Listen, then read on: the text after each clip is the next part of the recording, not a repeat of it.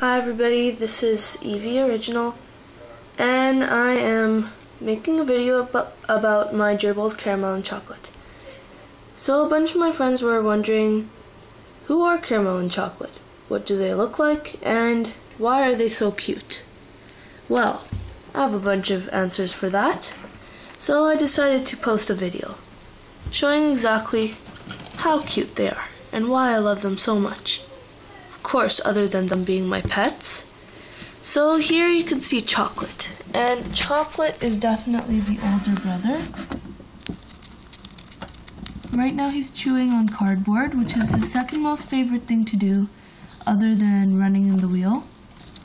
So Chocolate is the older brother to Caramel. He's bigger, he's stronger, and he sort of bosses Caramel around. But the difference between chocolate and caramel is that, well, basically, chocolate is lazy.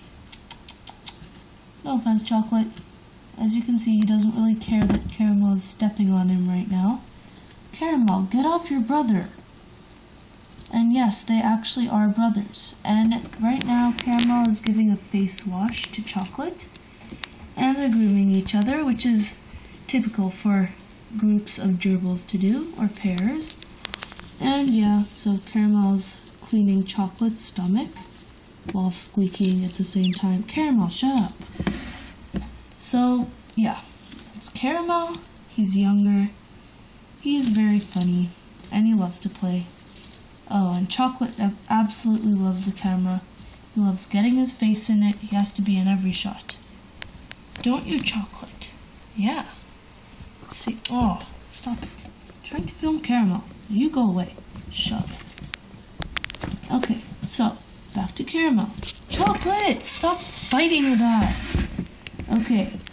Oh my gosh. Ugh. Okay, chocolate is being bad and biting my camera string. So right now I'm gonna have to go outside the cage and film. Okay, so right now running in the wheel, which is not very typical of him, is Caramel. Caramel is the world's friendliest gerbil. He loves to get held, he loves to play, and he's really funny and very furry and soft. And he never grooms himself, only chocolate. And yeah, he's itching himself right now. Basically, chocolate does not like to play at all, so it's not very easy to pick him up, especially when I need to clean their cage, which is about once every two weeks. So right now Caramel's up in his little apartment up here. Well, he actually came down. He's running the wheel right now. But anyways, they have this neat little contraption thing set up for them that you could buy separately from the cage. And it's really cool. It has like a bunch of different combinations of like tubes and stuff. And they have like this little house. You could open it just see them. It's nice and glassy. You can see what they do inside. That's all their cardboard shreds. A few extra pieces. Okay, so right now you might be wondering where they are. And so they're in their typical little hideout. Okay, well Caramel isn't. Okay, Chocolate is in his little hideout den thing, which is where he sleeps and goes to the washroom which is not very hygienic, it may sound, but that's what gerbils do. So right now, Chocolate's up in the compartment. Just open it. Chocolate can say hi to us. Hi, Chocolate. Nom nom nom. I'm cute. Go away. I wanted to sleep. Yeah. Yeah, he sleeps a lot. Way more than Caramel. Now I'm gonna shove him back inside. Get back in. Okay, well that worked yeah, so, okay. Why are they cute?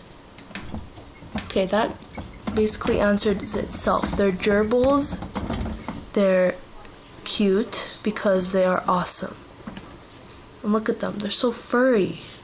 So furry. See, that is a cute face, right? There's no way you can associate that with a rat. Okay, seriously, Rat? I don't think so. Cute little gerbil fuzzy thing. Yay! Okay, so basically that is my video on caramel and chocolate.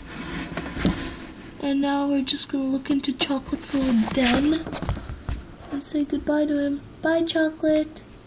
Bye.